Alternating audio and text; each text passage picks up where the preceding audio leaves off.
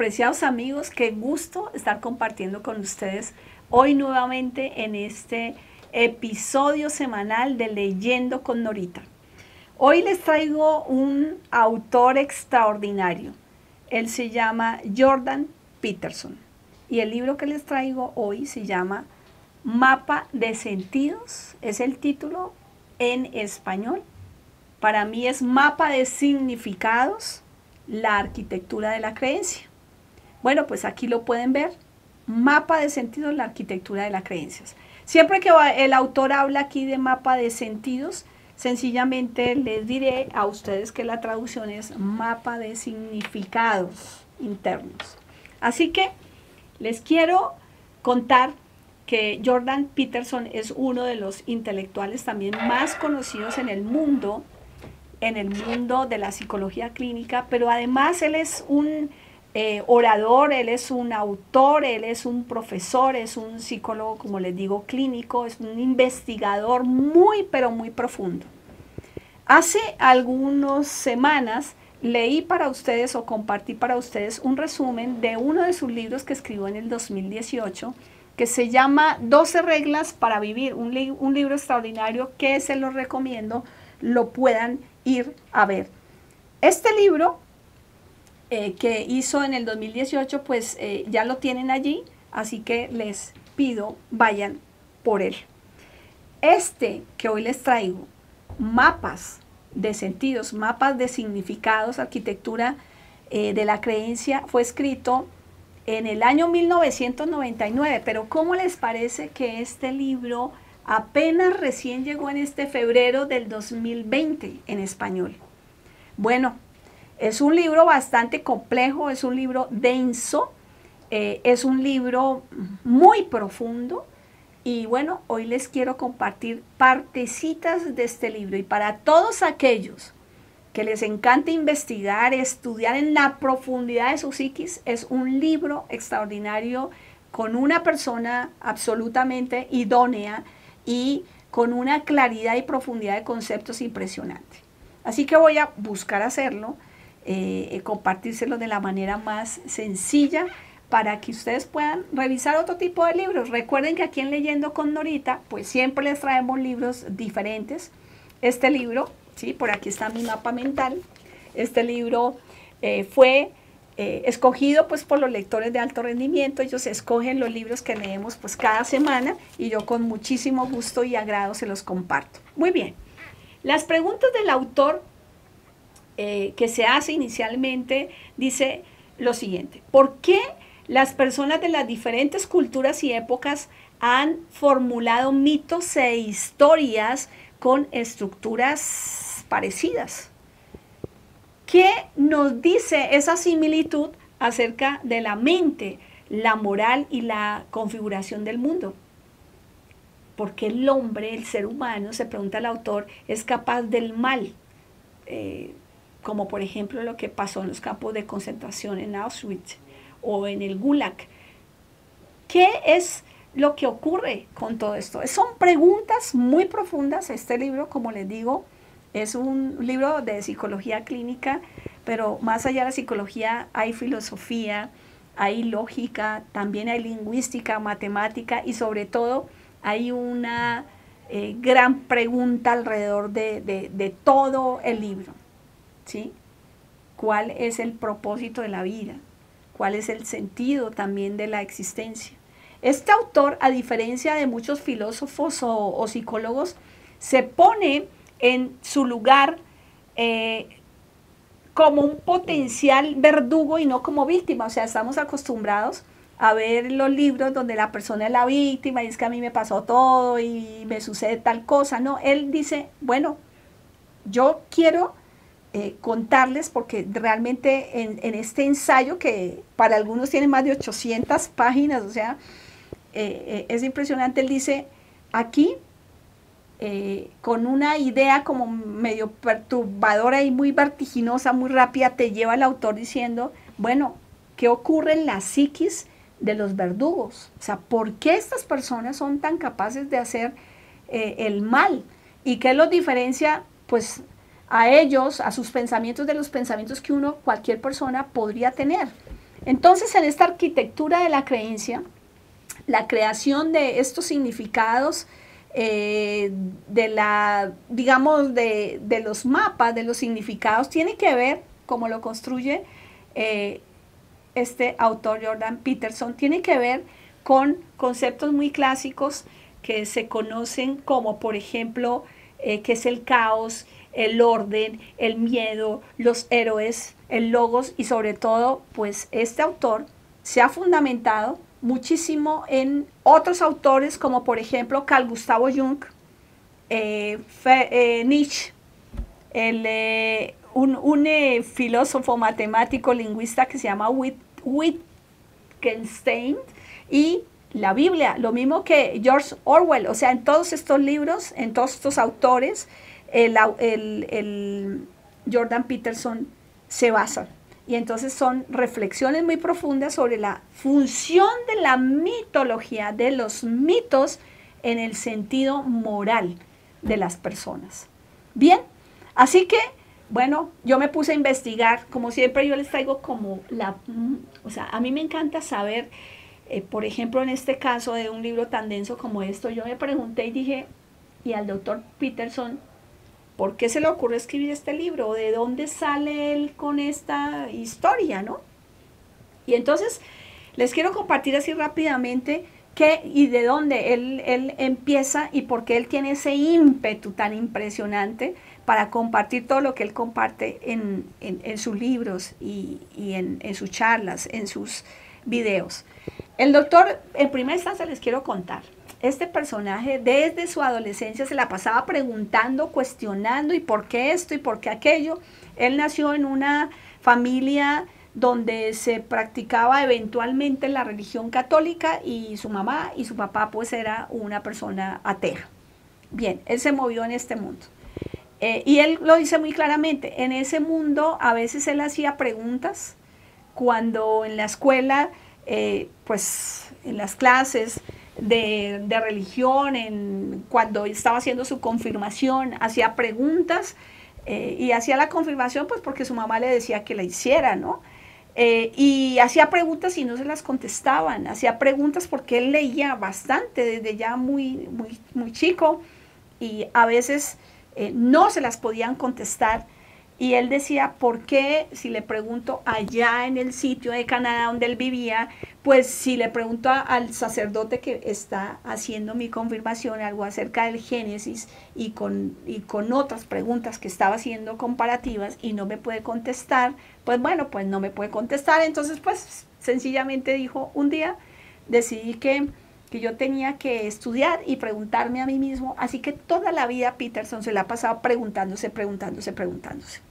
Bien, así que así en ese mundo, él empieza a leer mucho y de pronto ingresa al mundo de la ideología socialista, ya terminando su adolescencia y entrando pues ya, digamos, a, su juventud.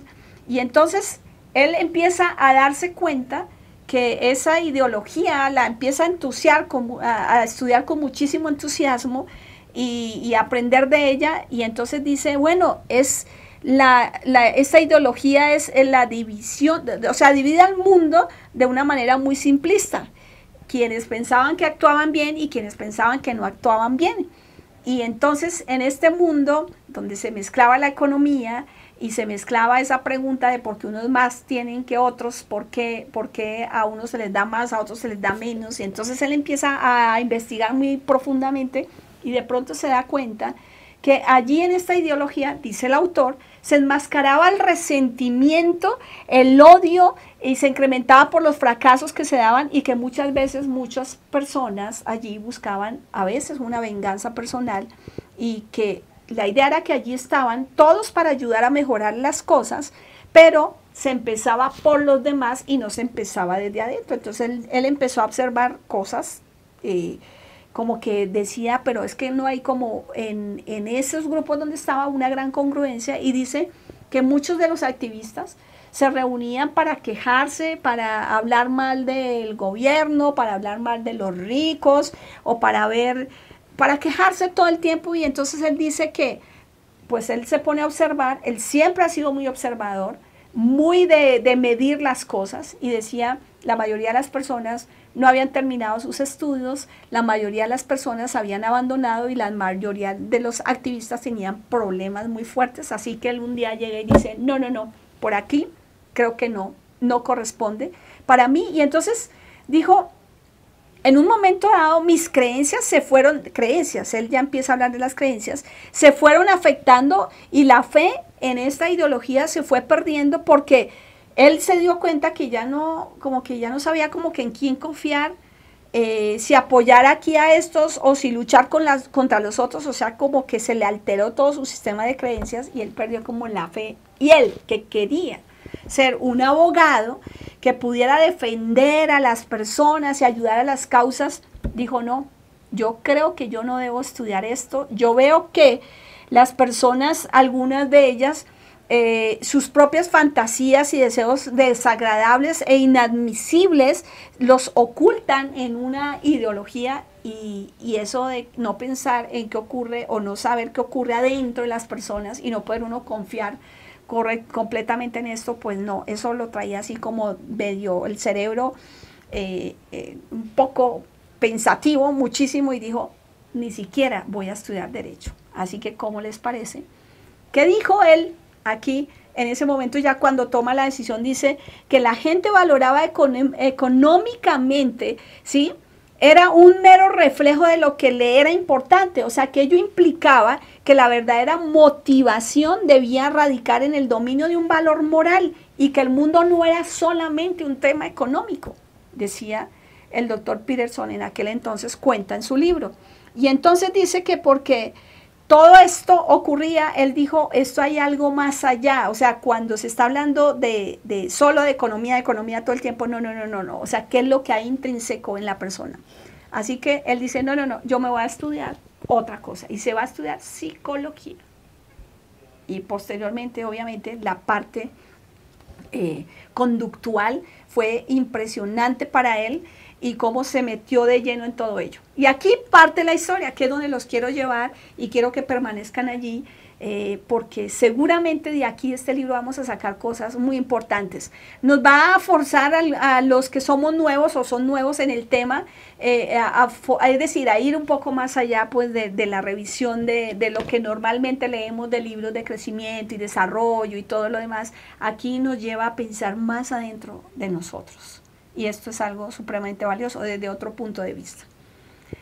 Él, eh, uno de sus maestros, lo, en una de las prácticas de la universidad en psicología, ya sabes, tienes que vender muchas carreras, muchas eh, áreas, así que muchas eh, materias, así que lo lleva a una prisión. Y en esa prisión el doctor pues va con él lo, el doctor de repente lo llaman y a lo deja en un patio con unos presos. Pues, ¿cómo les parece? El doctor se va y se le viene en un grupo de presos aquí, de personas que estaban privadas de la libertad, así que asustaban y le empiezan a decir, bueno, ¿y usted qué hace aquí? Pase lo que tiene, o sea, y él ya estaba aquí como, ¿qué, qué, qué voy a hacer? O sea, ¿qué me va a pasar? Y en ese momento aparece un hombre un hombre pues de estatura bajita que los mira a todos y los mira y le dice, eh, doctor, acompáñeme. Y pues era un hombre muy amable, o sea, como, acompáñeme. Este, esta persona lo lleva al doctor Peterson, al doctor Jordan, lo lleva pues donde su maestro y le dice, aquí, aquí ya está. El doctor, se quedan ahí hablando y el doctor el maestro le dice, eh, ¿sabe, ¿sabe usted, Peterson, quién fue el que lo trajo? Y él dice, no, no, no, no, un señor muy amable, muy, muy formal. Dice, pues ese señor muy amable y muy formal está aquí en la cárcel porque él ha cometido varios delitos atroces. Él ha matado gente. Él ha hecho con sevicia varias muertes de varias personas y así él mismo ha sido capaz de decirlo ante los tribunales. Así que esa persona que, lo trajo, pues es una persona que, ha hecho, hecho muchos delitos. Entonces Peterson se queda a pensar, dice, pero ¿cómo esta persona tan amable y todo, y me trajo aquí, hasta me salvó allá de lo que me hubiera podido pasar? qué pasa en la psiquis de la persona. Entonces él siempre se preguntaba muchas cosas.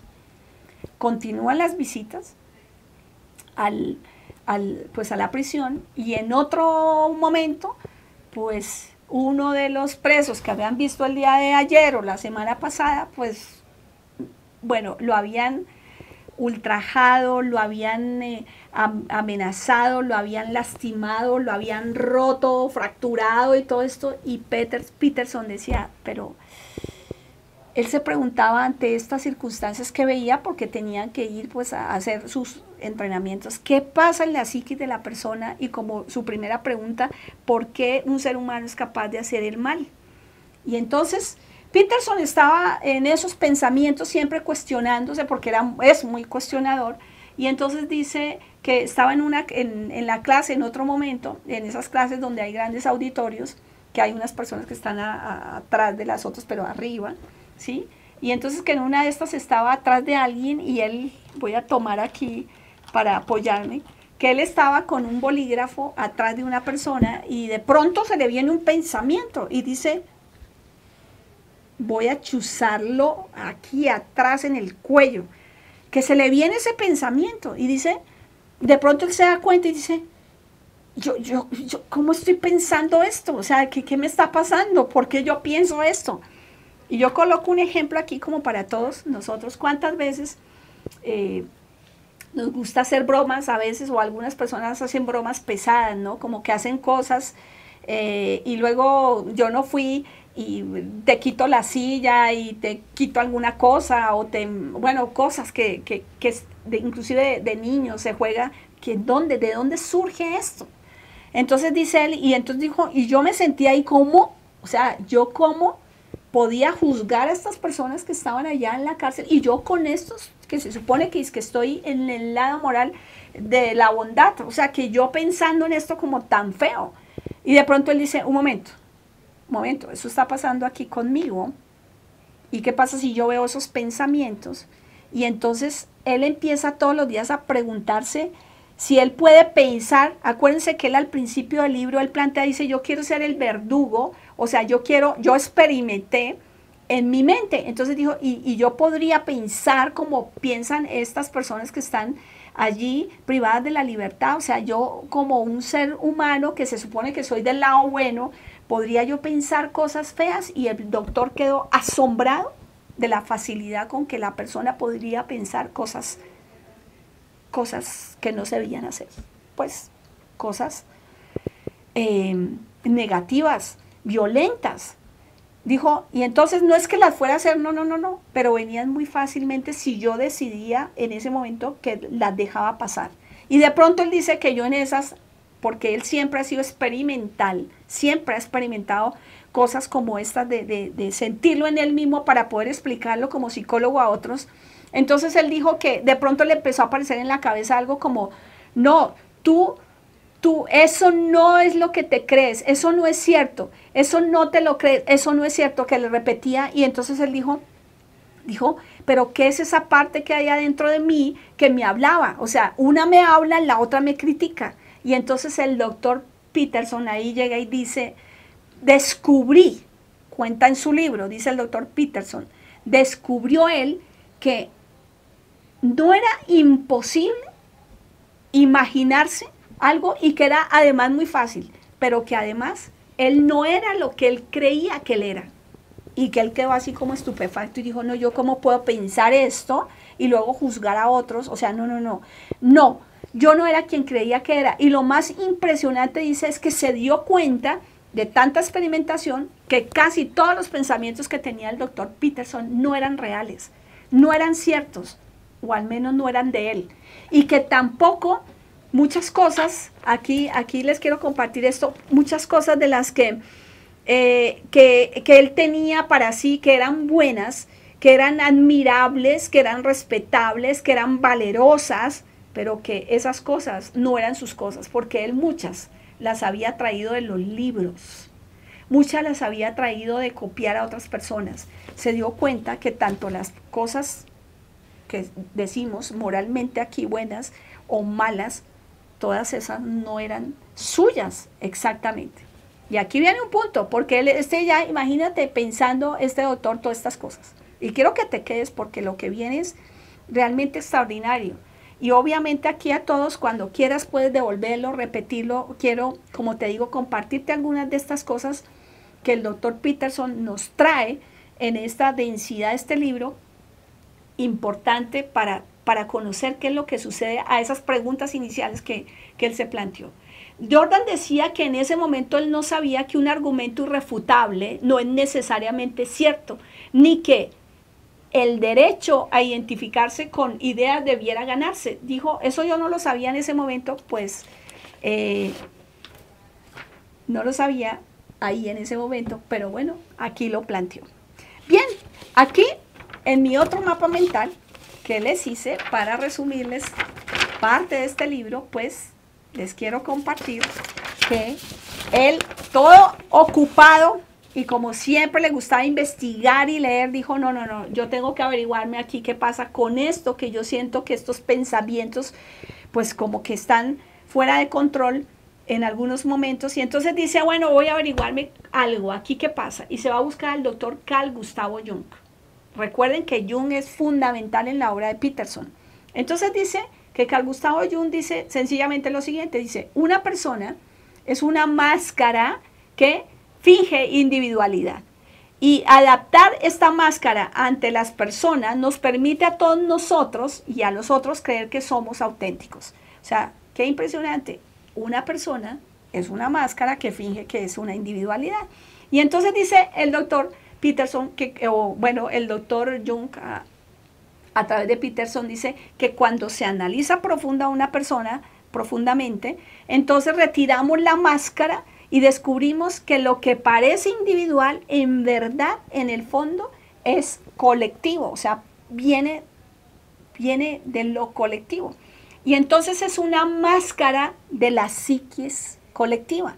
Entonces dice, la persona no es nada real, es como si fuera un convenio entre el individuo y la sociedad sobre aquello que el hombre debe parecer ser. Es lo que dice el doctor Carl Gustavo Jung. Esto es bastante profundo. Entonces dice, la persona finalmente adapta un nombre, nosotros. Obtenemos un título, unos estudios, hacemos una función, hacemos esto o aquello, y aparentemente todo esto es real. Sin embargo, en relación con la individualidad esencial de la persona, realmente es una realidad secundaria. Porque este convenio, donde los demás, dice el doctor Carl Gustavo Jung, dice, tienen generalmente mayor influencia. O sea, la persona es una semblanza de una realidad bidimensional. Bien, pero tranquilos que esto se pone más interesante. Pues este, así como ustedes aquí dicen, oiga, ¿cómo así? Una persona, o sea, soy una máscara, eh, y luego te empiezas a explicar, pero si, si, si me, analizan, entonces la máscara eh, se quita y entonces nos damos cuenta que yo soy el reflejo, en el fondo soy una máscara de la psiqui colectiva. Bueno, en fin. Entonces el doctor dice, uy, esto está como muy complejo. Y entonces empieza a tener un montón de sueños. Sueños, pero muy extraños. Sueños impresionantes. Dice que había dejado de soñar, o que mejor, nadie deja de soñar, se había, no, no, se acordaba de todos esos sueños y empiezan a, venderle, a venirle pesadillas y cosas así como que tú dices, oiga, este psicólogo se estaba pues como que corriéndosele la teja, como dicen en Colombia, y no, ¿cómo le parece? Se va a buscar de nuevo a Carl Gustavo Jung.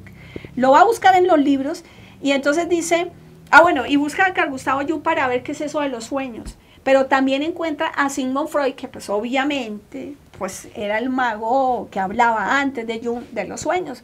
Y dice, pero no, yo no tengo en mis sueños ningún componente sexual, como decía este Freud. Entonces, no, no, no, por allá no me voy. Mejor me voy a analizar lo que dijo, sí, pero me entro con Jung, que parece que me da una respuesta mejor en ese momento para él. Y entonces Jung dice lo siguiente, pónganle cuidado. Hay que, hay que admitir que el contenido arquetípico del inconsciente colectivo puede asumir con frecuencia formas grotescas, espantosas en sueños y fantasías, así que ni siquiera una persona, la más racional de todas las racionales, la más recalcitrante, de todas las personas de cerebro lógico y analítico es inmune a esas pesadillas perturbadoras y a esos miedos inquietantes. Entre comillas, decía Jung. Entonces el personaje Peterson dice, uff, qué descanso, o sea, no me estoy enloqueciendo. Y entonces continúa estudiando y esto viene para ti y para mí. Y es donde el doctor Peterson dice aquí, es muy importante que cuando tú tengas todos estos sueños, de hecho yo siempre les digo a mis estudiantes que anoten los sueños, que los anoten, ¿sí? Porque no para angustiarse ni asustarse, porque además cada persona tiene su propio significado, o sea, cada entorno, cada cultura. Eso no es para encontrar eh, significados generales solamente, ¿no? Sino que el, doctor dice, es importante que todos, es, eh, para todos, esclarecer los sueños, esas imágenes, esas fantasías no se pueden pasar por alto en los sueños. ¿Por qué?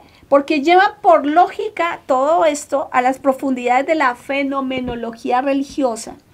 Y la historia de la religión en su sentido más profundo tiene que ver, de todas maneras, con la mitología, con el folclore y con la psicología primitiva. Y dice el doctor Peterson y dice el doctor Jung, y también lo decía inclusive Freud, que allí había un tesoro de formas arquetípicas impresionantes, sobre todo Jung decía esto, pero eh, este, Freud obviamente hablaba de, lo impresionante que va en el inconsciente, eh, Jung de todo lo que se llama los arquetipos para extraer paralelismos y calmar la consecuencia. Entonces, él dijo, bueno, ¿y ahora qué hago yo con estos sueños? ¿Ahora qué hago? Y entonces se pone a profundizar en un tema que se llama eh, las materias mitológicas, los materiales mitológicos comparativos. Y entonces así de esta manera él aprende a contextualizar esos, esos sueños que ha tenido pues para poder él comprender qué es lo que le ocurre. Y aquí es donde descubre eh, Peterson que las creencias conforman el mundo de una manera muy real. Y dice, el mundo, atención, el mundo, el mundo está conformado de creencias. Las creencias son el mundo en un sentido más que metafísico. Y bueno, y no es que el doctor Peterson dice, no es que yo sea un relativista moral, dice él, es que el mundo es una creencia y el mundo es ordenado. Y entonces hay valores absolutos universales. Bien, el doctor dice que los sustratos más y más profundos del inconsciente del sistema de creencias pueden hacerse comprensibles para todos, inclusive para las personas que son, eh, como dijimos hace un rato, que no, que son del, yo siempre diré, que son muy analíticas, muy racionales, ¿sí?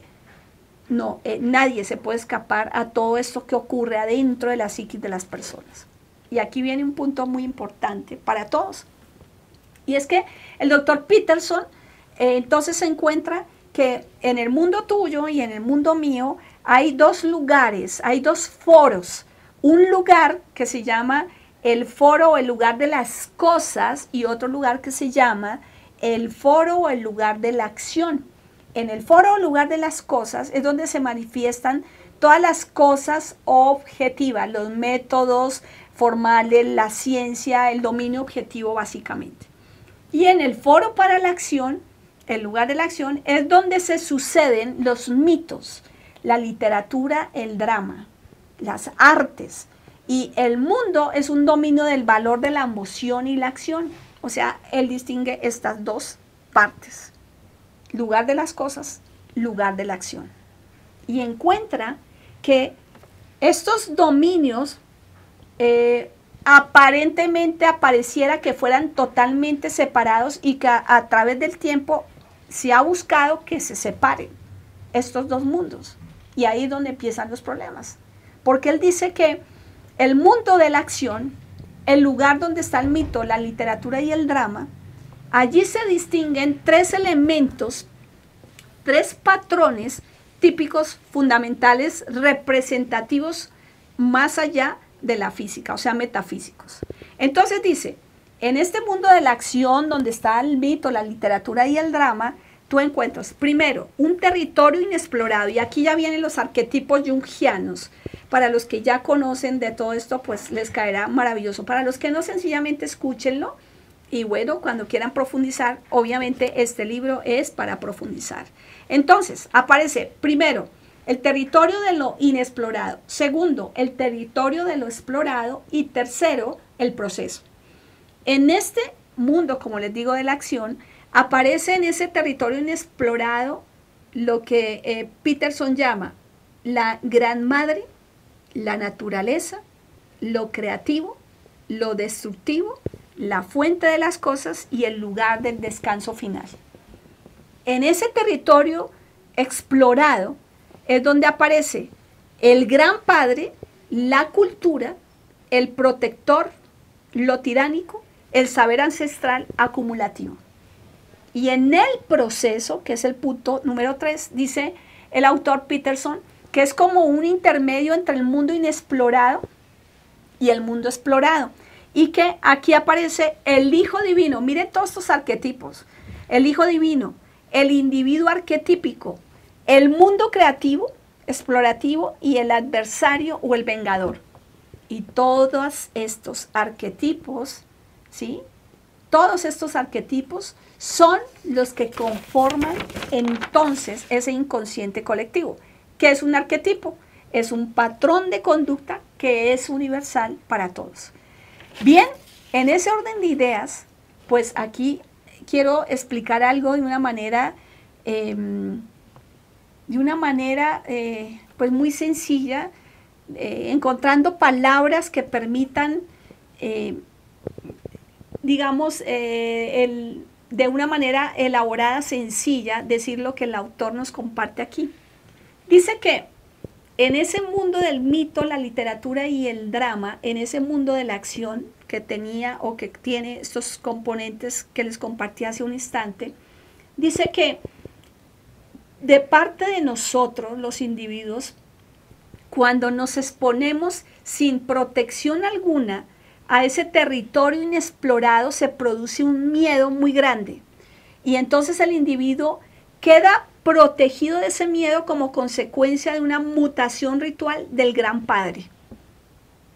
Entonces, como consecuencia de esta adopción de la identidad del grupo, que restringe el sentido de las cosas y confiere determinada predictibilidad en las interacciones sociales, con todo, cuando la identidad del grupo se hace absoluta, cuando todo tiene que ser controlado, cuando lo desconocido ya no se le permite existir, ocurre lo siguiente.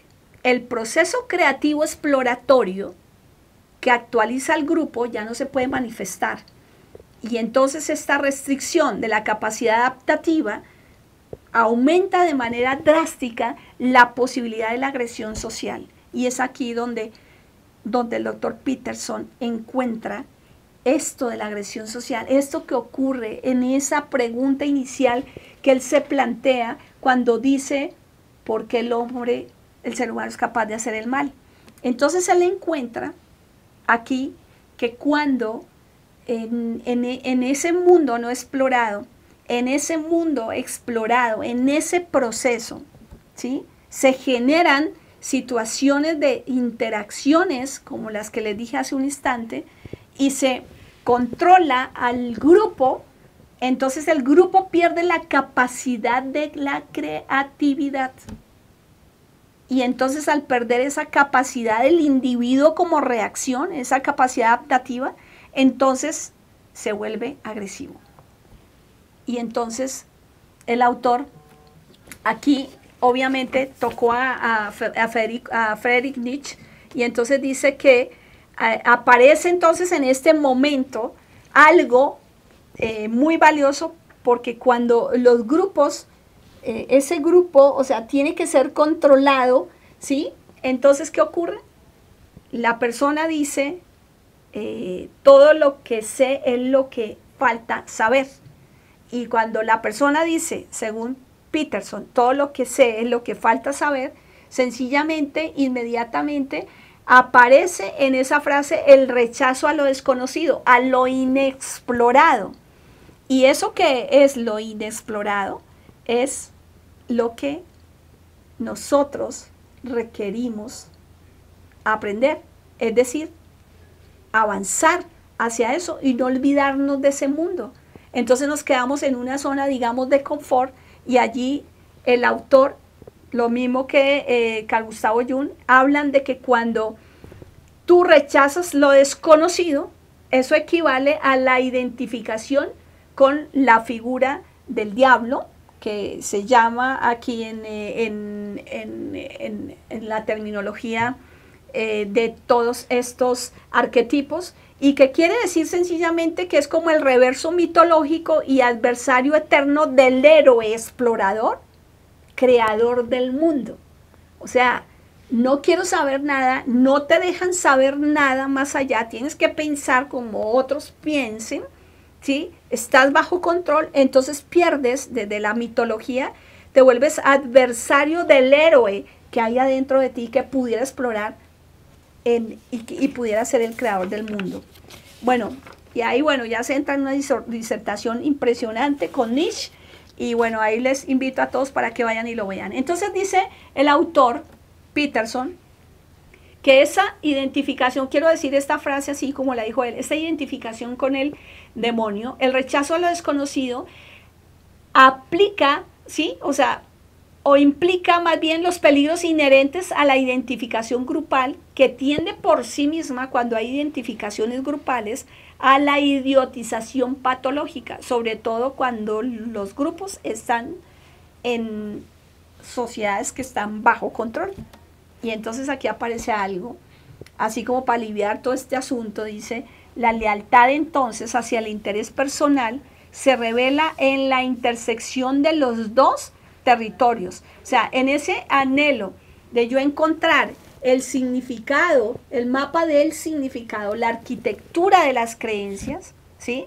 Entonces es cuando aparece ese interés personal que básicamente se, se, encuentra, como les compartí hace un instante, en esa intersección entre lo explorado y lo inexplorado y es indicativo de la participación en el proceso que asegura una adaptación continuada, saludable, tanto individual como social. O sea que el, eh, el, interés personal es equivalente a la identificación con el héroe, con el arquetipo del Salvador, ¿sí? que sostiene su asociación con el mundo creativo ante la muerte a pesar de la presión del grupo para que se pueda amoldar a él. O sea, el grupo te va a decir que te amoldes a él, o sea, no pienses a él, no seas creativo y entonces donde aparece el héroe y el salvador y el que pregunta y el que cuestiona. Es profundo el libro, ¿no? El autor entonces, por supuesto, aquí, aquí habla acerca de cómo es que eh, el poder, en este caso, cuando él dice el orden es el, digamos, el, el orden y el caos. Entonces, el caos es como el mundo desconocido, inexplorado. El, el orden es el mundo conocido. Eh, llegando más adelante, y pues durante la mayor parte del libro, obviamente Peterson habla acerca de los mitos. Y para entrarnos a este mundo ya de los mitos, porque yo quiero que ustedes, si están interesados, vayan y busquen todo esto, porque todos los cuentos que nos han contado, las historias que nos han echado, nos han, nos han introducido en el mundo de la mitología sin darnos cuenta. Las historias donde está el Salvador, donde está el héroe, donde está el destructor, donde está cada una de las figuras que conocemos como el adversario, el vengador, el hijo divino, la madre divina, el mago, la ma, es decir, todos estos arquetipos andan en medio de, la psiquis universal. Recuerden que Carl Gustavo Jung es el padre del, del inconsciente colectivo. Entonces, para entrar a esto de los mitos, el autor nos lleva por un mundo donde nos dice las cosas son diferentes del significado. Vamos a ver. Yo coloco aquí un ejemplo digamos, estos para mí es, eh, mm, estas son las cosas. Entonces son plumones, ¿sí? Sin embargo, el autor dice, este plumón, una cosa es el plumón y otra cosa es el significado que tú le das al plumón. Entonces, para mí puede significar, pues creatividad, para mí puede significar mapas mentales, para mí puede significar juegos, historias, eh, mil, mil memorias guardadas en mi cerebro, cientos, millones de cosas diferentes, jugar con mi nieto, por ejemplo, pero en sí, eh, la cosa, la cosa es un plumón, pero tiene un significado diferente. El autor aquí coloca un ejemplo cuando está hablando de este tema, y es que, eh, por ejemplo, mm, una niña, una niña pequeña, está jugando en su casa y en esta casa hay grandes esculturas muy finas, de muchísimo valor. La niña está jugando entre que, entre que gatea, camina y corre, pues va y agarra la escultura. Y la está tocando así, tocándola, y eso pues tú sabes, un niño, sin, eh, la cosa es esa cosa, ¿no? Para él no tiene significado, para ella en ese momento, más que, que, que la está tocando algo, sintiendo tal vez eh, y entonces la mamá llega y le dice, quítate de ahí, quítate de ahí que se rompe, quítate, córrete, ¿no? Y entonces eh, la niña, pues, o sea, para, o sea, en su psiquis inicial, en su psiquis inocente, digámoslo, ella, eh, o sea, empieza entonces a generar un, un, significado. Es decir, si toca esto, la madre se, se enoja, si toca esto, se puede romper, si toca esto, entonces dice que así muchos, o sea, que así hemos perdido, igual así como esto, el universo mítico de la mente experimental, ya que hemos dejado de propiciar ese desarrollo. Y dice, antes de Descartes, de Bacon, de Newton, el hombre vivía en un mundo animado y espiritual, saturado de significado, imbuido en un propósito moral, es decir, en ese sentido de lo que es correcto y de lo que es valioso o incorrecto, y que luego nos metimos en mundos de convenios y tabúes y han hecho que nosotros, dice el autor, olvidemos esta parte tan importante que es lo que se puede llamar ese lugar de la acción, donde en ese lugar de la acción existe ese mundo explorado, ese mundo inexplorado y ese proceso. Y entonces aquí el autor dice lo siguiente, estamos hablando de creencias, porque aquí dice cuál es el mapa del sentido de la vida y la arquitectura de las creencias. Entonces dice, miren todo cómo viene y cómo nos han hecho creer otras cosas.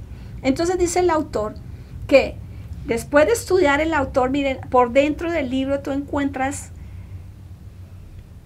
tanta información tan valiosa que yo sí espero que los que estén interesados vayan con ese libro y se tomen el tiempo que sea necesario para poder profundizar. Los que les interese, los que no, pues de verdad que les agradezco que me han acompañado hasta aquí, pero de verdad con todo el amor y con todo el cariño, mirando la manera en que puedan ustedes arribar a otros autores tan valiosos como este autor Jordan Peterson. Bien, el autor dice aquí, miren, entonces la idea cuál es? Que si nosotros ya nos damos cuenta de que tenemos determinados comportamientos, pues que le entremos de una y con decisión a hacer esos cambios eh, que nos permitan a nosotros reencontrarnos con esta parte creativa. Entonces dice, todos modificar nuestros comportamientos, ¿sí? Eh, cuando obviamente sabemos que sus consecuencias no son las esperadas, pues vale la pena hacerlo. Sin embargo, dice que hay que cambiar no solo el comportamiento, sino la creencia. Lo más importante es la creencia que subyace ahí en ese, en ese comportamiento, lo más profundo y que ello implica necesariamente reconsiderar la naturaleza de la significación motivacional del presente y reconstruir la naturaleza ideal para el futuro. O sea, él aboga siempre por la responsabilidad como seres humanos, como individuos, como personas, ¿sí? Que venimos de un colectivo, ya sabemos todo lo que explicamos atrás, y que la idea es que nosotros podamos hacerlo. Dijo que finalmente las personas eh, olvidaron porque pensaron que después de que apareció el método científico y todo, ese pensamiento era el que era y se olvidaron del otro pensamiento tan grandioso como fue el mito, la literatura y todo lo que realmente subyace allá en el fondo de nosotros.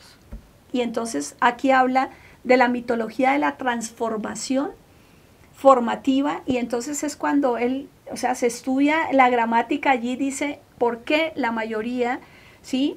de las culturas hablan del camino, de la vía, del sendero. Dice sencillamente porque todos hablan en esas estructuras culturales generales de lo que significa el propósito de la vida para cada uno. ¿Cuál es el sentido de la vida? ¿Cuál es el sentido de la existencia?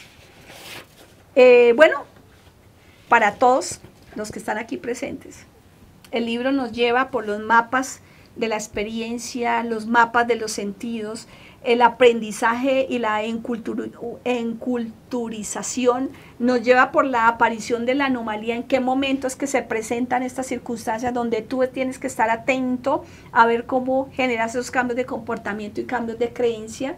Y por supuesto nos habla de los arquetipos de los hermanos hostiles para que vayan y lo vean.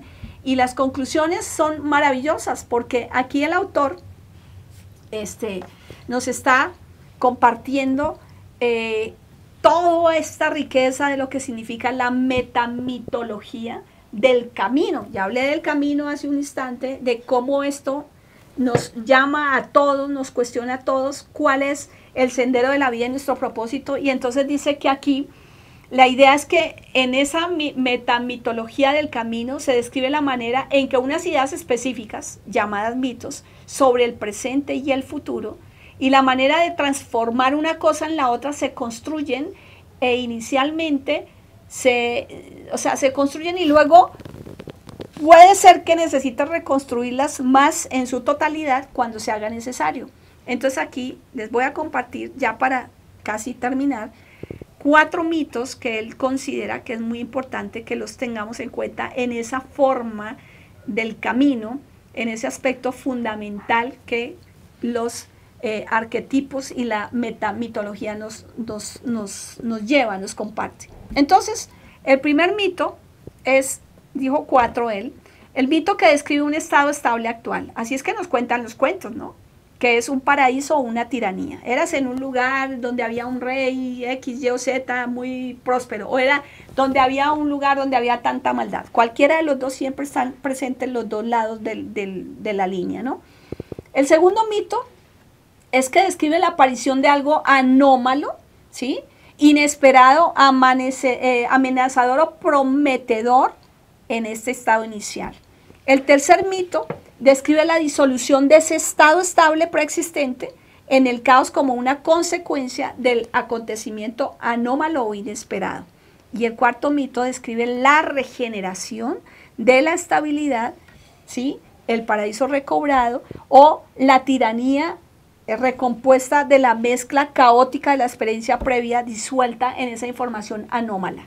Ahí les dejo para que repitan y lo vuelvan si lo quieren y lo revisen. Así nos cuentan las historias y los cuentos. Y para poner un ejemplo claro de esta metamitología, pues podemos decir que en la idea judeocristiana tradicional de que el hombre ha caído desde un estado de gracia original hasta su condición actual, dice el autor, donde normalmente es moralmente degenerada y emocionalmente insoportable, acompañada de un deseo de retorno al paraíso, entonces constituye solo un ejemplo del metamito, es decir, a dónde es que vamos al paraíso, es a ese eh, retorno al reino de los cielos, al reino de Dios, y hay unas explicaciones impresionantemente maravillosas acerca de la palabra de Jesús de Nazaret, con eso cierra el, libro, de las palabras no ya de la religión, sino de esa profundidad de las parábolas del Maestro Jesús de Nazaret, según el autor. Así que para cerrar, les quiero dejar unas frases muy profundas que Jordan Peterson nos trae al final de su libro y son de una gran profundidad. Estos son los dichos, algunos de los dichos secretos que ha proclamado Jesús el viviente y que anotó Didimo Judas Tomás. Y él ha dicho, quien encuentra la interpretación de estos dichos no saboreará la muerte. Jesús ha dicho, que quien busca no deje de buscar hasta que encuentre. Y cuando encuentre, se turbará. Y cuando haya sido turbado, se maravillará y reinará sobre la totalidad y hallará el reposo. Son frases extraordinarias, entre otras muchas que el, que el autor nos comparte. Jesús ha dicho, Conoce lo que está enfrente de tu rostro y lo que se esconde a ti se te revelará. Pues no hay nada escondido que no será revelado y nada enterrado que no será levantado. Sus discípulos le preguntan, le dicen, ¿cómo quieres que ayunemos? ¿Y cómo oraremos? ¿Y cómo daremos limosna? ¿Y cuál dieta mantendremos? Jesús ha dicho, no mintáis y no practiquéis lo que odiáis, porque todo se revela delante del rostro del cielo. Pues no hay nada escondido que no será revelado y no hay nada oculto que quedará sin ser descubierto. Estas son las frases que el Maestro eh, Jesús de Nazaret nos compartió y unas frases con las que el autor nos cierra esta profundidad del libro que nos compartió. Recuerden, de nuevo, te invito a que si estás interesado en este tema, compres el libro y lo leas totalmente porque hay mucha información allí. Así que si te gustó este libro, con todo cariño he presentado estas, estas eh, tips, ¿sí? Estos, estas partes fundamentales del libro para poder ir entendiendo mucho más el pensamiento de, Peterson. Así que, queridos amigos, pues si te gustó, compártelo, déjanos tus mensajes, eh, déjanos tus inquietudes. Y bueno, nos vemos en una próxima versión de Leyendo con Norita, en una próxima oportunidad. Nos vemos hasta siempre. Recuerden, amar, leer y aprender es una decisión consciente. Hasta siempre.